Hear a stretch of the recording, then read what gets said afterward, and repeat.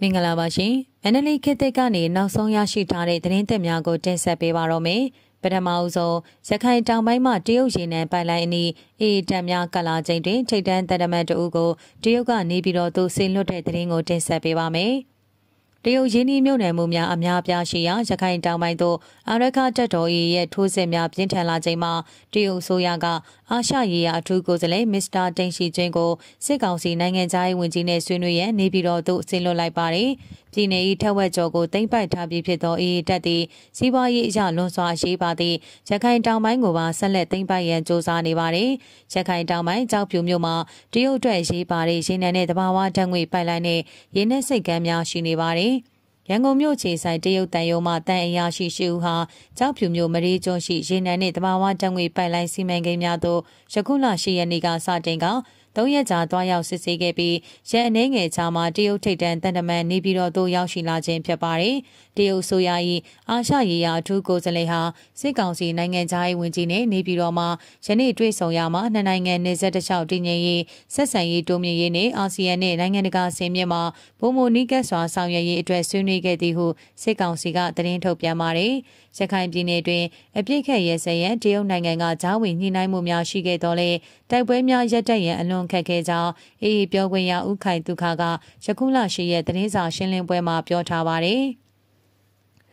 ပြီးခဲ့တဲ့နှစ်နိုဝင်ဘာ23ရက်မှာစတင်ကရခိုင်ပြည်နယ်တွင်အေးကထိုးစစ်ကြီးစတင်ခဲ့ပြီးယခုကပေါက်တော်ပုံနာကျော်ရတိတောင်ကြောက်တော်မြောက်ဦးမင်းပြမြေပုံရံပြဲဘူးတီတောင်နဲ့ချင်းပြည်နယ်ပလောဝမြို့နယ်တို့ကိုတိုက်ခိုက်သိမ်းပိုက်ထားကြောင်းသိရှိရပါတယ်။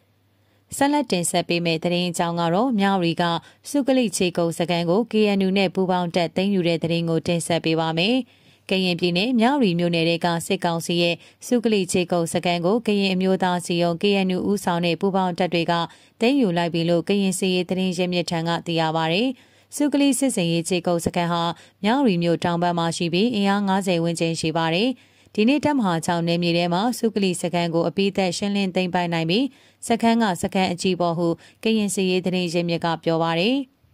တိုက်ခိုက်မှုမှာပါဝင်တဲ့ NUG ကာကွယ်ဝင်ကြီးဌာနလက်အောက်ခံအထူးစစ်စင်ရေးဖွဲ့ Special Operation Group SOG ကလည်းစုကလိချေကုတ်စကန်ကိုတင်ယူလိုက်နိုင်ပြီဆိုတာကိုသူတို့ရဲ့ Facebook ကနေဖော်ပြပါတယ်။စက္ကန့်ပိုင်းသာကြာမြင့်တဲ့ရုပ်သံဖိုင်တစ်ခုကို SOG အဖွဲ့ကထုတ်ပြန်ရမှာစုကလိစကန်ကိုတင်ယူလိုက်ပြီဆိုတာကိုစကမ်းမြင်ကွင်းနဲ့လက်နက်ခရံပုံတချို့ကိုဖော်ပြထားတာတွေ့ရပါတယ်။စုကလိချေကုတ်စကန်ဟာဒေါနာတောင်တန်းအရှိချမ်းရှိစုကလိမြို့မှာတည်ရှိသလိုထိုင်းမြန်မာနေဆက်နဲ့လည်းနီးကပ်ကြောင်းသိရှိရပါတယ်။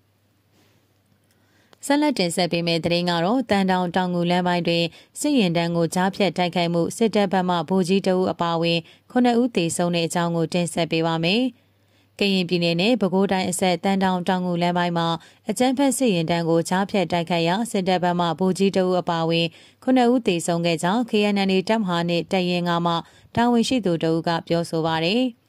ဇွန်လ16ရက်နေ့ညနေ3:40မိနစ်40ခန့်တန်တောင်ကြီးမြို့နယ်ဘရင်နောင်တပ်စခန်းမှဆင်းသက်လာတဲ့အကြမ်းဖက်စစ်တပ်၏စစ်ကားဆယ်စီးကိုတန်တောင်တောင်ငူလမ်းပိုင်းရှိ6မိုင်နဲ့9မိုင်အကြားမှာ KNN တပ်မဟာနှင့်တရင်ငါပူးပေါင်းတပ်ဖွဲ့များကကြားဖြတ်တိုက်ခိုက်ခဲ့ပြီးတိုက်ပွဲဖြစ်ပွားခဲ့ကြောင်းသိရပါသည်အဆိုပါတိုက်ပွဲမှာအကြမ်းဖက်စစ်တပ်ဘက်မှဗိုလ်ကြီးတအုပ်နဲ့တပ်သား6ဦးသေဆုံးခဲ့ကြောင်းသိရပါသည်။ ကြားဖြတ်တိုက်ခိုက်တာပါရန်သူဘက်ကအင်အားများတော့လက်နက်မကောက်နိုင်ခဲ့ဘူးရန်သူကအပြန်ကိုစောင့်ပြီးတိုက်ခိုက်ခဲ့တာပါဟု KNN တပ်မဟာနဲ့တရင်ငါမှတာဝန်ရှိသူတို့ကပြောဆိုကြောင်းသိရပါတယ်ဆက်လက်တင်ဆက်ပေးမယ့်သတင်းအကြောင်းကတော့မုံရွာက PDF တွေပြစ်ခတ်ခံရပြီးတဦးကြဆုံးကတဦးဖမ်းဆီးခံရတနက်သုံးလက်ဆုံးရှုံးတဲ့သတင်းကိုတင်ဆက်ပေးပါမယ်။။ စကိုင်းတိုင်းမုံရမြို့ပေါ်မှာမနေ့ကမနက်ပိုင်းတိုက်ပွဲအပြီးပြန်လာတဲ့ PDF ရဲဘော်တွေစစ်အုပ်စုရဲ့ပြစ်ခတ်ဖမ်းဆီးခံရလို့တအူးကြဆုံးပြီးတအူးဖမ်းဆီးခံလိုက်ရကတနက်သုံးလှည့်ဆုံးရှုံးသွားတယ်လို့ဒေသခံသတင်းရင်းမြစ်တွေကပြောပါရယ်။မုံရမြို့တိုင်းရင်းစေးရုံလမ်းမှာမနေ့ကဇွန်လ18ရက်မနက်9:00နာရီခွဲခန့်မှာမတ်တူးအမျိုးအစားကားနဲ့ PDF ရဲဘော်တွေမောင်းနှင်လာချိန်စေအုပ်စုကလိုက်လံပစ်ခတ်ဖမ်းဆီးခဲ့တာကြောင့်တအူးကြဆုံးပြီးတအူးဖမ်းဆီးခံလိုက်ရတာဖြစ်တယ်လို့မုံရမြေပြင်ကင်းထောက်ကဆိုပါတယ်။ အနောက်ဘက်ကအဖွဲ့တွေတဲ့ဖုန်ကြီးကားနဲ့အဖမ်းခံရတာတိုင်းရင်စေးရုံလန်တဦးသေးတဦးဖမ်းခံရ၃ယောက်လွတ်တယ်ကြားတယ်အနောက်ဘက်ကအဖွဲ့တွေပါအဖမ်းခံရတဲ့ကလေးကစစ်ကြောရေးမှာအသက်ခံလိုက်ရပြီလို့လည်းကြားရတယ်အတိမပြုတ်နိုင်သေးဘူးလို့မုံရမြေပြင်ကင်းထောက်ကပြောပါတယ် မမနေ့ကမနေ့ပိုင်းမှာမုံရမြို့ပေါ်ကစားတောက်ဆိုင်တဆိုင်မှာတောက်စားရန်ကားနေတဲ့စေအုပ်စုကို PDF တွေကတိုက်ခိုက်ခဲ့တာဖြစ်တယ်လို့မုံရကင်းတောက်အဖွဲ့ကဖော်ပြထားပေမဲ့သတင်းဌာနအနေနဲ့တိကျအတိမပြုနိုင်သေးပါဘူး။ PDF ရဲဘော်တွေပြစ်ခတ်ဖမ်းဆီးခံရတာနဲ့ပတ်သက်ပြီးစေအုပ်စုကသတင်းဖြတ်ရမှာမတင်ကားစရာမတူအမျိုးအစားကားတစ်စီးကိုစစ်ဆေးဖို့ရပ်တန့်ခိုင်းရမှာ အတင်းမောင်းနှင်ထွက်ပြေးသွားတာကြောင့်ပြစ်ခတ်ဖမ်းဆီးရာ PDF တဦးအလောင်းနဲ့တဦးဖမ်းဆီးရမိက MK ကျွဲအမျိုးအစားတနက်တလက်တိုက် FD1 အမျိုးအစားတနက်တလက်လဲလုံတနက်အတူတလက်ကြီးမျိုးစုံ28တောင်းနဲ့ကြီးအိမ်နှစ်ခုကားတစ်စီးသိမ်းဆီးရရှိခဲ့တယ်လို့သတင်းဖြန့်ပါတယ်ပြစ်ခတ်ဖမ်းဆီးခံလိုက်ရတဲ့ PDF တွေဟာချင်းတွင်းမြစ်အနောက်ဘက်ကရင်းမပင်ခရိုင်တွေကဖြစ်တယ်လို့ဒေသခံသတင်းရှင်းမြစ်တွေကဆိုပေမဲ့အဖွဲ့အစည်းအမည်ကိုတော့လက်တလောမသိရသေးပါဘူး။ အနောက်ဘက်ကန်းနဲ့အဖွဲ့လို့တော့ကျွန်တော်သိရတယ်ဗျကျွန်တော်တို့ဘက်ကအဖွဲ့တွေတော့မဟုတ်ပါဘူးမစ်ရှင်ဖော်စီအုပ်စုတိုက်ခိုက်ပြီးတော့အပြန်မှာဖြစ်သွားတာလို့လည်းကြားသိရတယ်ဟုမုံရပါလာဖတာဝန်ရှိသူကပြောပါတယ်အဲ့ဒီဖြစ်စဉ်နဲ့ပတ်သက်ပြီးရင်းမပင်ခရိုင်တွေကတရင်တချို့ကိုသတင်းဌာနကဆက်သွယ်မေးမြန်းကြည့်ရမှာဖြစ်စဉ်ကိုကြားသိရပေမဲ့အဖွဲ့အစည်းအမည်ကိုလက်တလုံးမသိရသေးဘူးလို့ဆိုပါတယ်။စေအုပ်စုနဲ့ပြူတွေကမုံရမြို့ပေါ်မှာနေစဉ်ဒေသခံပြည်သူတွေကိုဖမ်းဆီးငွေညစ်တာဓမြတိုင်လူရက်တာ နေအိမ်တွေကိုမိရှို့ဖျက်ဆီးတာပြစ်ခတ်တပ်ဖြတ်တာနဲ့စစ်ကြောရေးမှာနှိပ်စက်တပ်ဖြတ်ပြီးအလောင်းစွန့်ပစ်တာတွေမကြာခဏလှုပ်ဆောင်နေတာဖြစ်တယ်လို့ဒေသခံတွေကဆိုကြောင်းသိရှိရပါတယ်။ဆက်လက်တင်ဆက်ပေးမယ့်သတင်းကတော့မေလတလအတွင်းတနင်္သာရီတိုင်းရှိစခန်း၃ခုသိမ်းပိုက်ရရှိတဲ့သတင်းကိုတင်ဆက်ပေးပါမယ်။တနင်္သာရီတိုင်းတွင်တော်လှန်ရေးလှုပ်ရှားမှုပုံမအားကောင်းလာပြီးမေလအတွင်းစခန်းသိမ်း တိုက်ပွဲဖော်ဆောင်ကစစ်ကောင်စီစခန်း၃ခုကိုသိမ်းပိုက်နိုင်ခဲ့တယ်လို့တနင်္သာရီတိုင်းရှိစစ်ရေးအခြေအနေများကိုသူတေသနာပြုလုပ်တဲ့အဖွဲ့ထံမှသိရပါဗျ။ပြီးခဲ့တဲ့မေလမှာတနင်္သာရီတိုင်းတဝဲခရိုင်ရှိတရချောင်းမြို့နယ်ပဲတက်စစ်ကောင်စီခြေကုပ်စကန်